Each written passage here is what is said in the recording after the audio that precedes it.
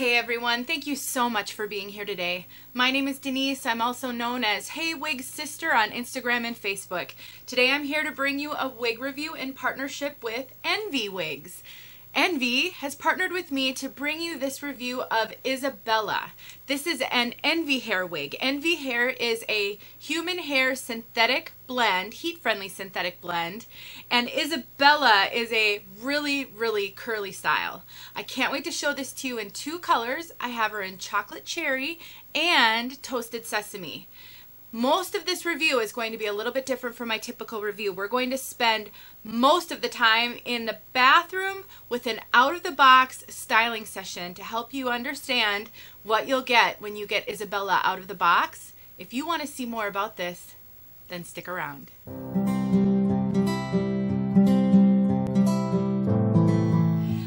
So grateful to Envy Wigs for sending me Isabella in two colors so that I could show her to all of you guys and help you on your wig wearing journey if this is a style that might be a good one for you. So before I talk too much about this and give you the lowdown on what this video contains, let's take a look at this one from all sides.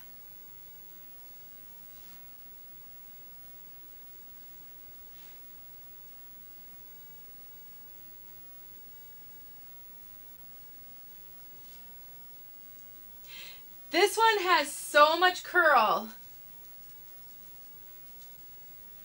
We're going to talk a lot about this. So I'm going to do a quick introduction here. I'm going to tell you just a little bit about this wig.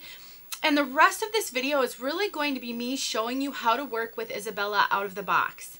Because I have two of them, I'm fairly confident that if you decide to purchase Isabella, the next segment is going to be really important for you because I think you need to be aware of the challenges this one brings as far as out of the box challenges. I've talked about how to handle a wig out of the box in many, many videos.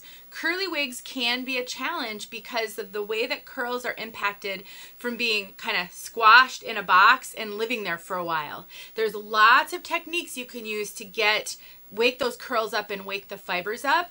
Water is one of your best friends. So we're going to talk a lot about how this one comes out of the box and you'll get to see that. But before we do that, let me tell you a little bit about this piece. So first of all, let's talk about density and permatease. This wig is a high density piece. This has probably the most hair uh, I've ever tried on any wig of this length. So the most dense. There is a ton of hair on this one. So much hair. So oftentimes when we talk about wigs, they're usually moderate density, sometimes low to moderate density. That's a really common space for wigs to be in in, in these ready to wear wigs. I rarely ever see one that's high density and I don't think I've ever seen one in a wig this length and I've seen a lot of wigs. So please be prepared. If you're looking at this thinking, oh my gosh, how cute. I mean, I think this is like wedding hair, fancy event hair. For sure, this is like fancy hair. It has tons and tons of hair. I feel like this hair is just never ending. There's a lot of hair on this piece.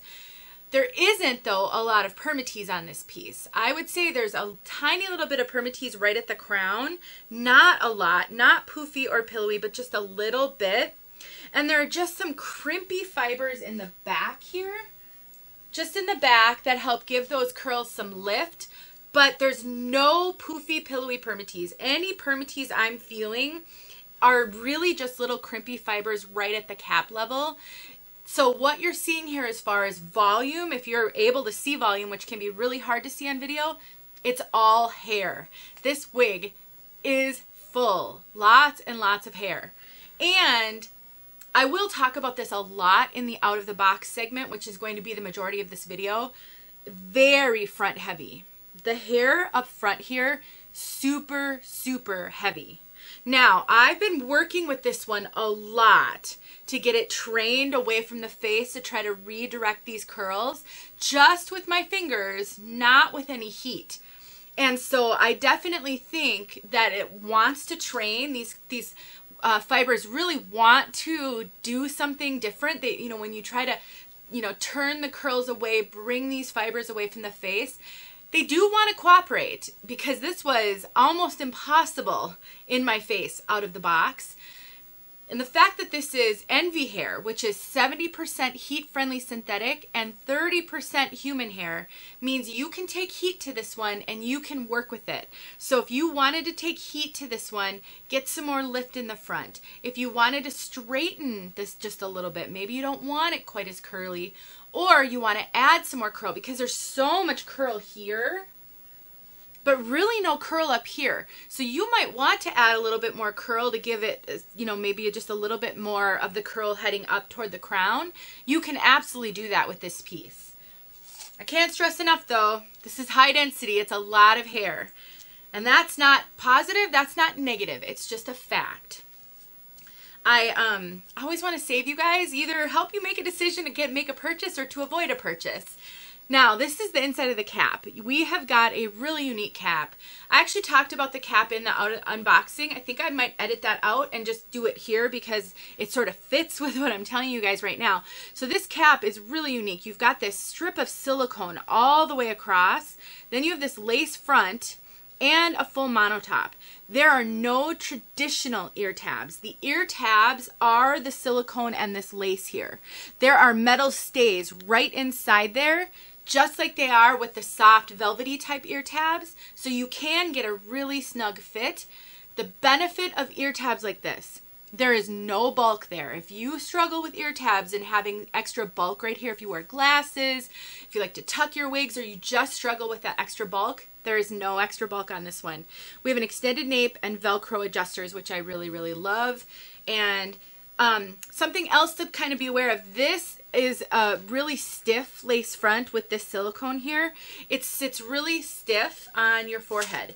So if you find yourself irritated by lace fronts when they're a little bit stiffer, my recommendation is just adhere it with something like It Stays or Ebin spray or Got to Be glued spray. Something that's going to just sort of tack that lace down on your forehead and then it won't move. It's not bothering me at all and I sometimes lately have been sensitive to some lace fronts, but I want to mention that. Something else I want to mention I didn't talk about in the unboxing is the transition line. So can you see right there? Here's the lace. There's that silicone strip you can see the transition between the lace and the silicone. That, if you want to get mono top wigs, that can't be a deal breaker for you because you won't be able to get most mono top wigs if that's a deal breaker. All you have to do is take some powder, some face powder, maybe just a shade or two lighter than the stuff you use on your face, and just take a makeup brush and just dab it in there to blur that line foundation will work. it's a big deal. I don't think most people are looking at the top of your head in that way. I probably wouldn't worry about it myself, but I want you guys to know about that. The other thing I want you to know about is the lace. So let's take a look at this lace. There we go right there. And there's that lace front. It is just a little bit densely knotted and you can see those knots somewhat. I don't think that is a huge deal if you're going to keep this wig down because I really don't think you see that whole lot of that when the wig is down. But if you want to do some fun styling with this, and I really think that if you're skilled at styling, you can take some clips and bobby pins and you can really make this into a fun updo with all of these curls. And if you want to pull that up, then you might want to add a little powder or something to that to hide the knotting. I do actually have a video where I show you how to do that. I also show you how to pluck a lace front and a part line to make them look more realistic. I really don't think the part line needs to be plucked unless you want to part it in a different place because you can part it anywhere up here. But I do think the lace front's just a little bit densely knotted. You can absolutely fix that. And I would honestly rather a company more densely knotted than make it very sparse and and make that because it's harder to fix that. I think it's easier to modify a wig to pluck the part line a little bit than to figure out what to do when it doesn't have enough hair. So I really do appreciate that.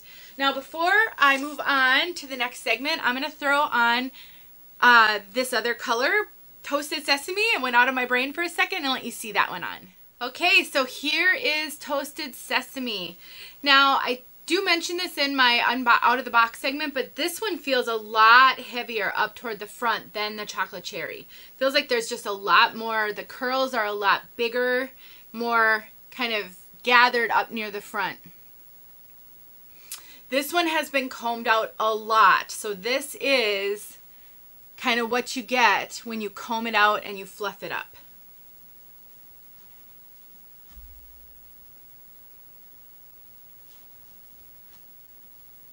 I do want to show you something too that I find really interesting. So the curls on the bottom of these are very different.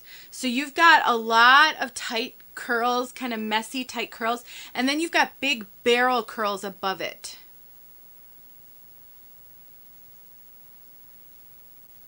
Just a just a really interesting, it gives it a lot of fullness on the bottom. Again, you can take heat to this one and you can make it your own. You can relax it a little bit. Definitely one that you're going to be able to play with. I'm going to talk about the color in a separate video because this one's going to be plenty long. I thought this was all super important though. If you are looking at this and considering it, I really want you to have all the information that you would need to make a good decision. I think this one is super cute. I think to me this is not an everyday look. This is more of a fancy event. You're going to spend some time getting your hair looking just like you like it. This isn't really a throw and go wig. I wouldn't purchase this expecting it to be a throw and go, but I absolutely think it could be made cute if you're willing to put in a little time with it and make it yours. Let's go take a look at the out of the box so I can show you what you can expect. All right, so let's talk about Isabella.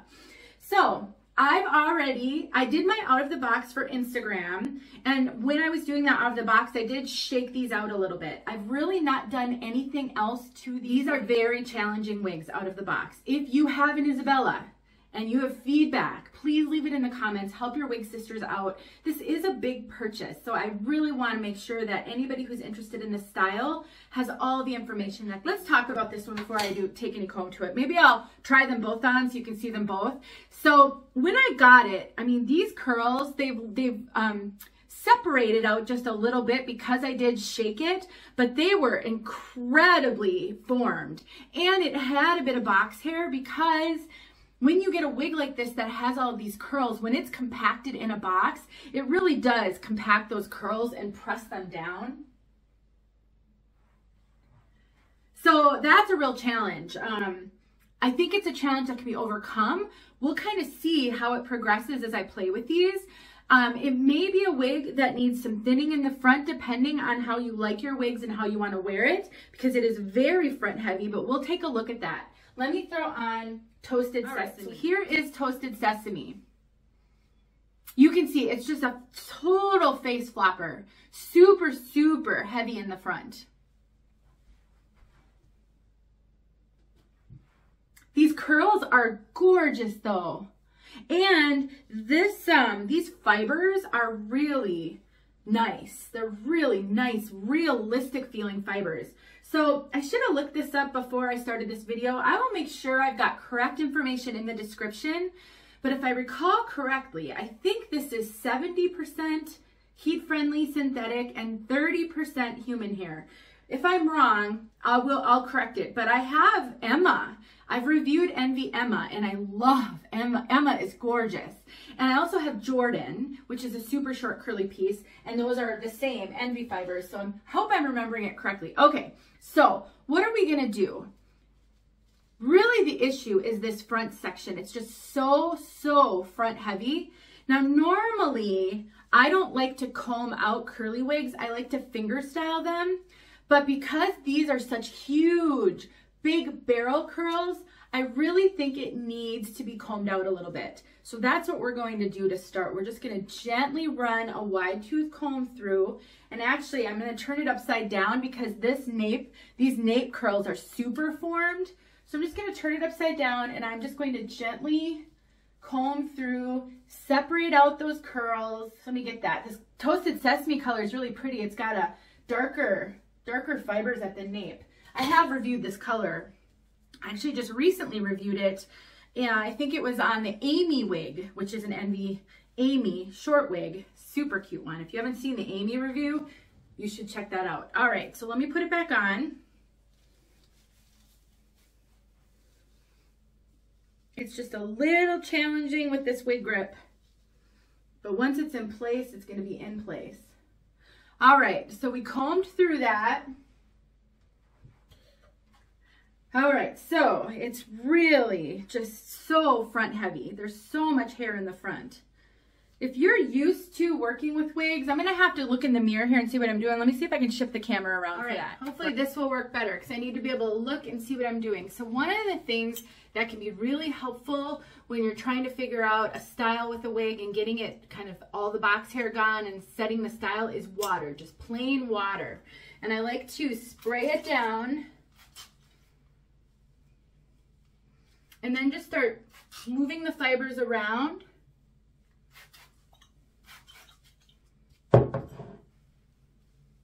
This is very, very common to need to use water on a brand new wig. It's my favorite styling accessory, or tool, I should say.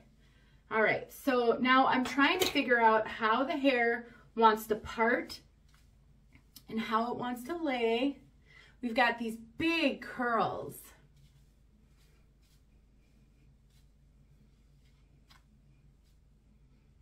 It's starting to get better. It's starting to move to the side. The other thing water can do is it can help you, once you've combed through a wig, if you want to sort of refresh those curls, you can spray it with water and then do some scrunching. Everything that you do to a synthetic wig puts friction on the fibers. So combing it, scrunching it, rubbing it, all of that puts friction on the fibers. Friction will start to break those fibers down a little bit over time, just like clothing. You know, these are uh, like uh, fabric in a way. And, you know, if you rub on your clothing a lot, you can get pilling, you can get fading. So that's true with uh, synthetic fibers. So you want to be intentional about what you do with your synthetic wigs. And when you play with them, try to have a goal in mind and don't play with them so much that you shorten the life of them. All right, look at how much better it's starting to look, you guys. Now this top is, is hanging forward, so I'm just going to, I'm trying to comb this back a little bit.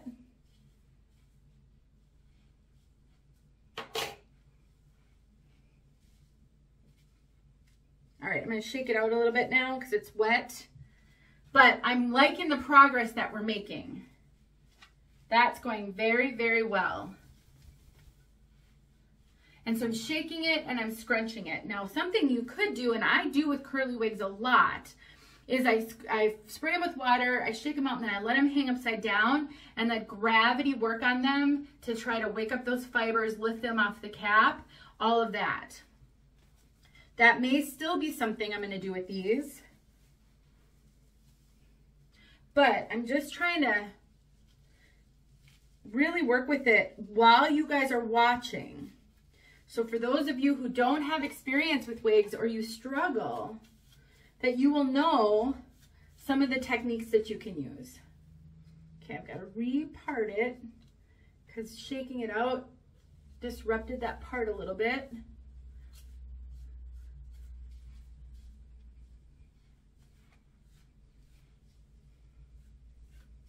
Boy, that top is so heavy. There's so much hair up on the top. It's really making it difficult to know where it wants to go.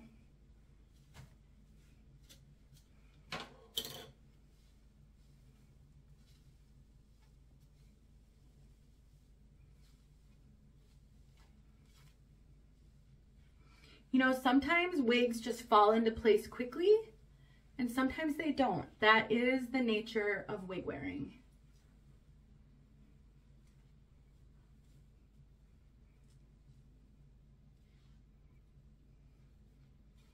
See how much better that looks already? It still has a lot of hair in the front, but it, what this is telling me is the more you play with it, the more you comb through it, the more you work to train those fibers. This is what I'm doing right now. I'm training the fibers to go in a different direction. It's really responding well. What do you guys think? That looks a lot better, don't you think? Really don't know what the back looks like right now. All right. I'm liking where we're going with this. Okay, I did a quick switch. We're gonna do a similar process with the chocolate cherry piece so that you can watch it again. So I need to kind of figure out where I want it to part. Since it's a full mono top, we can part it anywhere. And then start playing with the hair. This one doesn't feel quite as heavy in the front.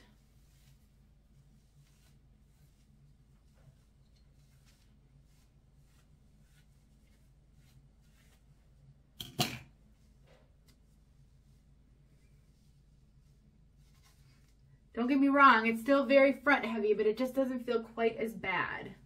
I mean, I know it's not bad as much.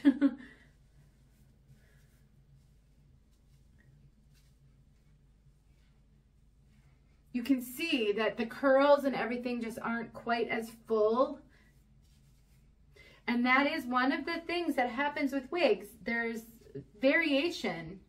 And so being prepared to have that variation, especially when you may purchase multiples of the same style can be really, really helpful.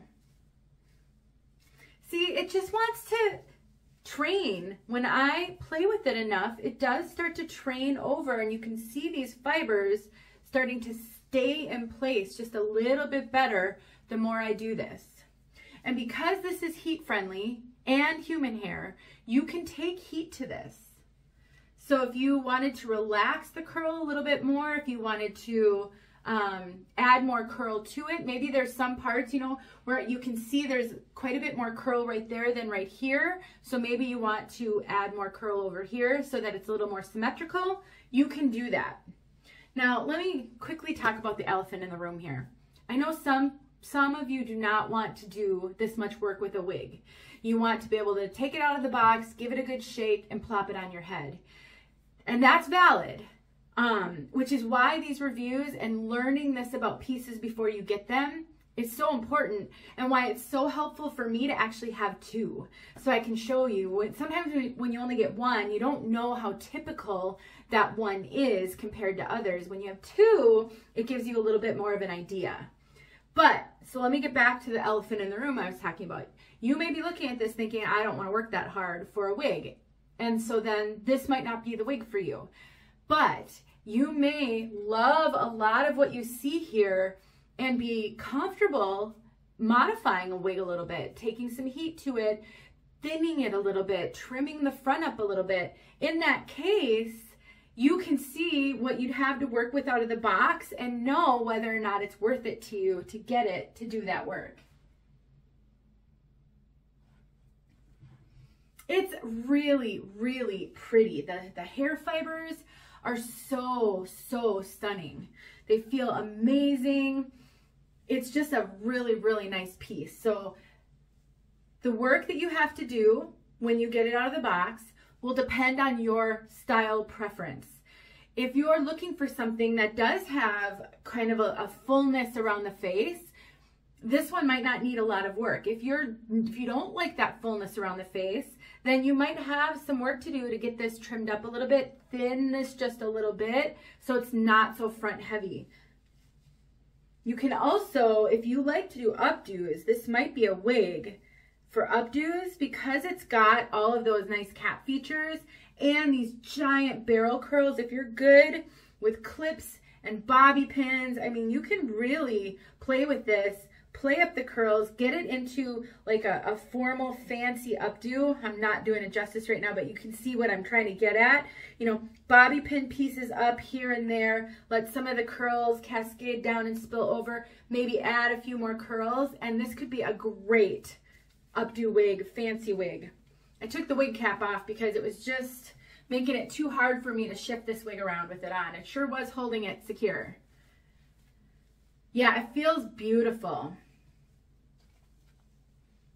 All right, so at this point, it's just a matter of per your personal preference and how you want to style it.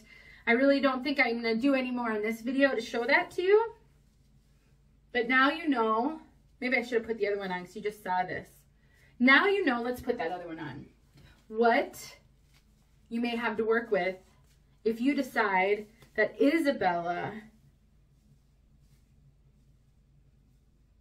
is the piece for you. Or at least a fun challenge.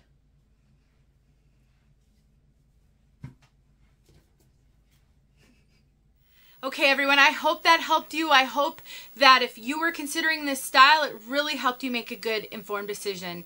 I want to stress that everyone is different in what they want in a wig. And what doesn't work for one person is another person's perfection. I, I absolutely want you to keep that in mind as you watch these reviews because I have a feeling some of you are going to have comments about how full and how much hair and how much curl if it's not your perfect style. But keep in mind, somebody else is going to absolutely love this, and this is what they've been looking for. I definitely think this wig fills a gap in the wig market. I have never reviewed a wig quite like this one. I definitely think it's going to take a little work to make it great, but I think it can be great and it's filling a gap. And so I'm really grateful to Envy for creating a wig like this and doing something a little bit different because we need some different styles every now and then. All right, everyone. Thank you so much for watching. Thanks once again to Envy. I'll talk to you guys in my next video.